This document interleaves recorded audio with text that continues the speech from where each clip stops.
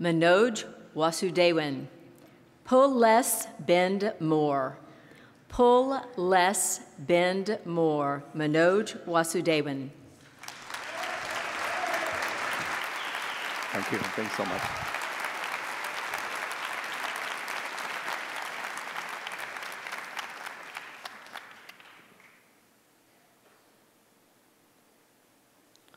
I was 24 years old. I had a nice job, nice car, nice hair. Still, my girlfriends didn't stay for long.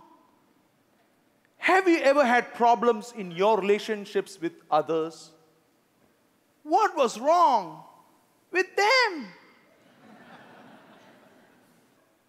you fall in love because of Cupid's arrow. But what keeps you in love is Cupid's bow. You see, the bow and its string have a great partnership. The more the string pulls back, the more the bow bends. Ego is what pulls the string. Still, the mighty bow bends because it cares for the partner.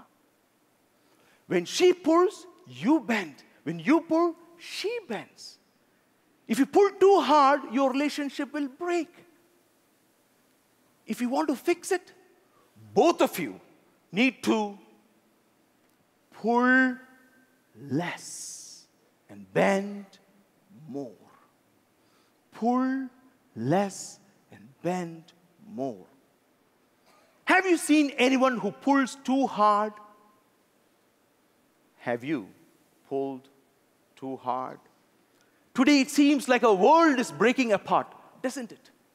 Still, when you look at this room, you see people from 142 different nations sitting together, shoulder to shoulder, and getting along fine. How is that possible? Toastmasters, you are proof that no matter what our differences are, by choosing to pull less and bend more, we can stay together. Last month, my wife and I celebrated our 19th anniversary. Yes, that's the same wife.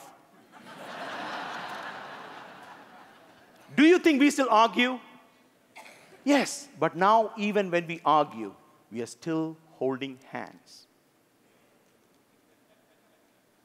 My mama is no more with us, but her words still rings in our ears.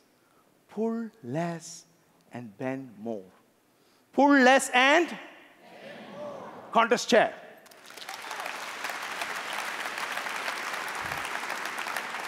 Thank you.